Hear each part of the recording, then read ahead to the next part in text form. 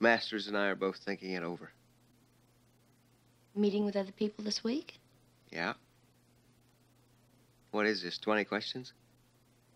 No, I'm just concerned about you, that's all. Well, babe, you don't have to be concerned. I'm fine. Oh, well, you're fine. I'm fine. Everybody, in fact, everything is Jim Dandy, A1. Okay, fine.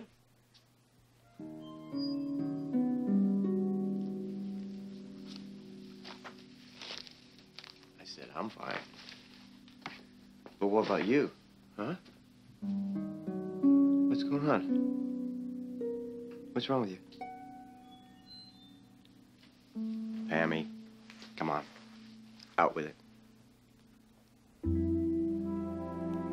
Cliff, I, I've been so awful to Bobby for months now.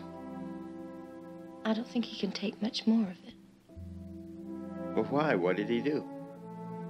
Nothing. That's what's so terrible. Up until now, he- he's been wonderful, understanding. He doesn't deserve the way I've been treating him.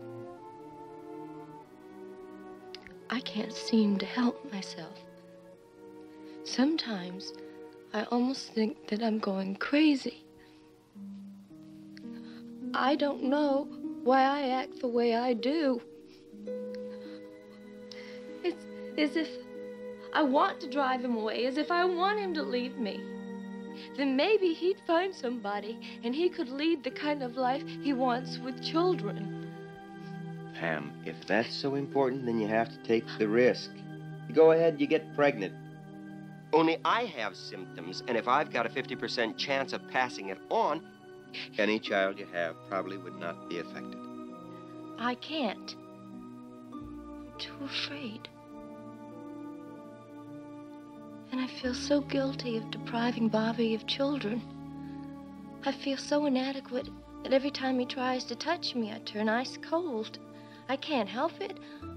You have to stop worrying about it. You have to stop thinking about it. Cliff, Bobby's going to leave me. I know he is. And I love him so much.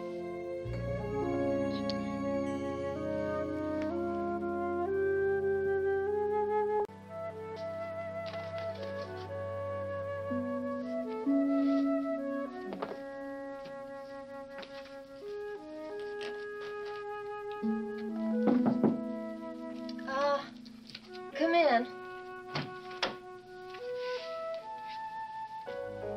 Hello. Did we have an appointment I've forgotten about? No. I just want to talk to you. About what? I'd like to know if you want Bobby. Because if you don't, I do.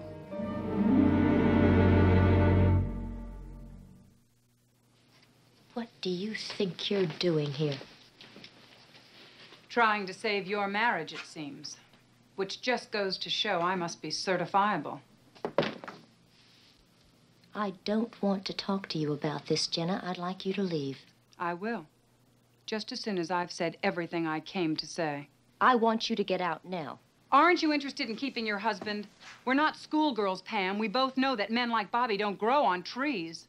I don't have to listen to you lecture me on the virtues of my husband. Well, you better listen to someone if you want him. I love Bobby. I always have. I may have had a strange way of showing it at times, but when I let him go, I was 20. That was my excuse for being a fool. What's yours? Oh, has Bobby been crying on your shoulder, Jenna? Complaining about the wife that doesn't understand him? You know him better than that. He hasn't said a word about you. Then what makes you so sure I'm going to lose him? He's miserable, Pam. Anyone can see that. And I know him better than most. He's loving, understanding, and kind. But ultimately, he's a survivor. And if you won't make him happy, he'll find someone who will. That someone being you. Yes, if I have anything to say about it. Look, Pam, Bobby loves you a lot, so I'm trying to play fair. But if you can't make him happy, I'll cut you out just as fast as I can.